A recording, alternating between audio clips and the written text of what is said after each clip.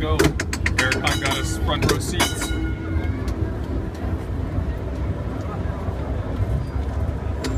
See if we're gonna kill some people here. Uh-oh.